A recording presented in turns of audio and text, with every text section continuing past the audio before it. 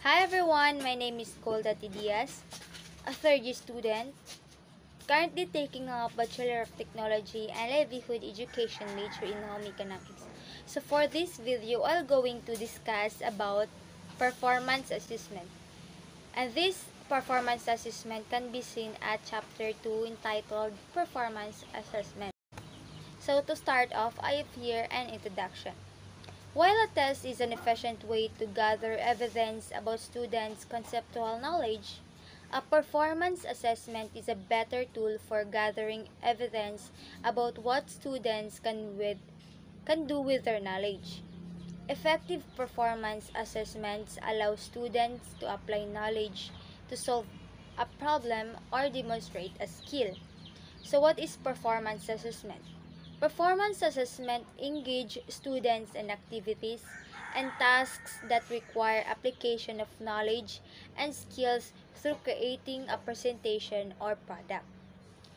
Performance is shorthand for performance-based or performance and product. It can be simple or complex just like for example, keyboarding skills or creating a remote controlled machine. So, Alternative assessment and authentic assessment cannot be used synonym synonymously with performance assessment. So let us first define what are these two assessments. So alternative assessment is any method that differs from conventional paper and pencil tests. So later on I will show you an example of alternative assessment. So authentic assessment involves direct examination of a student's ability to use a knowledge to perform a real life task. So what constitutes assessment varies. So examples of alternative assessment. Student project, portfolio, event tasks, student log, student journal, observations, teacher or self so as you can see it is as as what the as what I defined alternative assessment. As what I said earlier it is a method or any method that differs from conventional paper and pencil tests. So examples of authentic task product it involves product. Like essays you can create essays stories or poems research paper lab reports, newspaper, poster, and poster. So those are this those are some of the examples of alternative assessment and authentic tasks. So characteristics of performance assessment. So we have the center performance assessment. Students explain, justify, and defend. Students Students use reasoning skills. It uses engaging ideas of importance of substance. Typically, no single correct answer.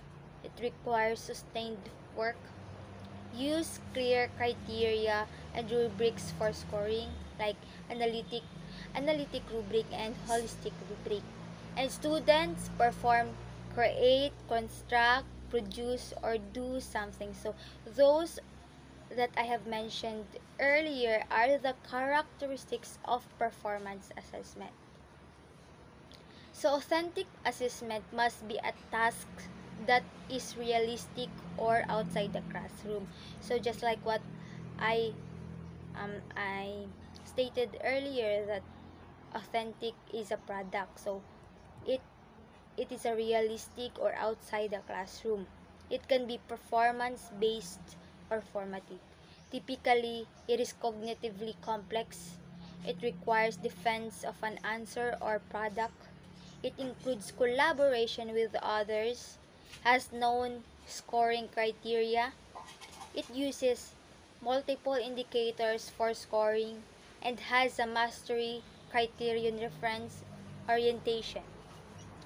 So what are the benefits to using performance assessment?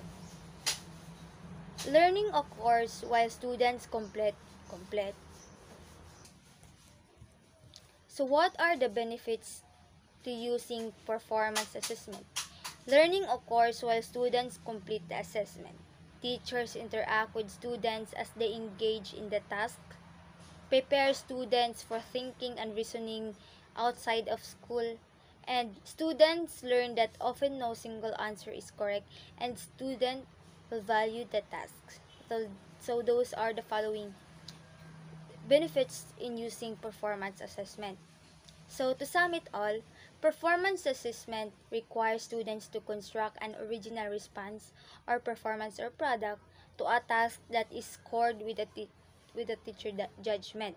And authentic assessment involves a performance task that approximates what students are likely to have to do in real-world settings. And performance assessment integrates instructions with evaluation of students' achievement and is based on constructivist learning theory. Multiple criteria for judging successful performance are developed, and effective performance assessment engages students in meaningful activities that enhance their thinking skills and demonstrate their ability to apply what they have learned. So that's all for this video. I hope that you have learned something about performance assessment. Thank you for watching.